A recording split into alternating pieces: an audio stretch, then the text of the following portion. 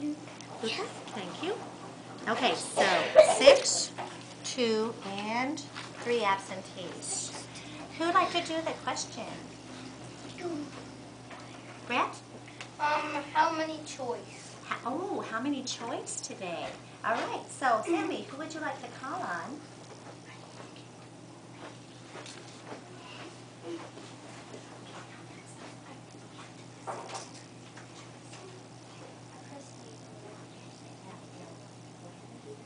Sophia?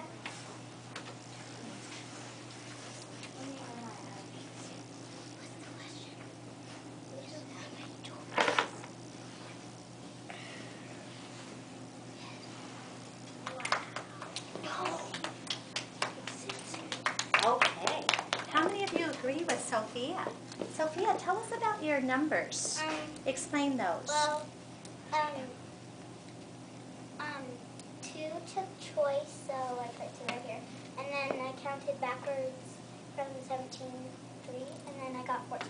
Two out of 14. Who, let's do, 14. let's see. Okay, let's think of a cake. We have an even number, 14 pieces. So if you had two pieces out of 14 altogether, would you have less than half, more than half, or one half exactly? Let's vote. Okay, who thinks more than half? There, no? Oh, oh, I thought you'd all raise your hand when I did. Okay, um, less than half? One half exactly? Come on, no? You guys are so right. Give yourselves a pat on the back. Okay, Sophia. Thank you very much. Um, Sammy, let's have one more question and work with those numbers. Good job, Sophia. Okay, ask a question, Addie.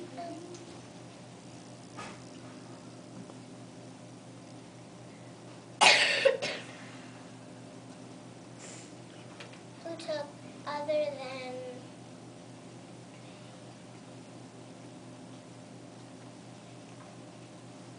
choice? Other than choice. Interesting. Other than choice. That is a little different question, isn't it? Hmm. Okay, everybody thinking? Other than choice. This is Ben. All right, watch Ben, see if you agree with what he said. Hi, Jade. Did you check in at the office? Mm-hmm. Oh my goodness, you got the same number at the bottom. Tell us about those numbers, Ben. Well, 14 because three were absent, Uh-huh. and um, and 12 because 14, and then and then just minus two of them because there's two choice, and so then I just minus two and there was 12. Do you all agree with that? Yeah. Oh I my did how many goodness. Let's think about this now. I'm going to ask my question again. Half, more than, less than. If you got 12 out of 14 pieces of your favorite cake, you pick your own cake in your mind. Okay. Would you have, ready? Who thinks half exactly of the cake? Who thinks more than half? Who thinks less than half? You'd almost have the whole cake, huh? You'd only need two more pieces to have the whole cake. Good job. Ben? Give hand. Nicely done. Second graders. Okay, what should we do next, Miss